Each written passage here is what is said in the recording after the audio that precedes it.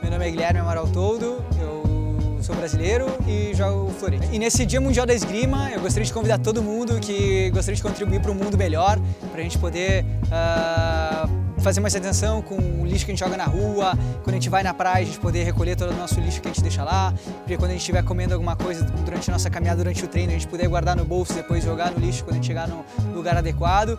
E assim a gente poder contribuir para o nosso mundo, não só com a esgrima, mas também com boas ações e bons gestos. E eu faço minha parte. Agora é a vez de vocês contribuir para um mundo melhor.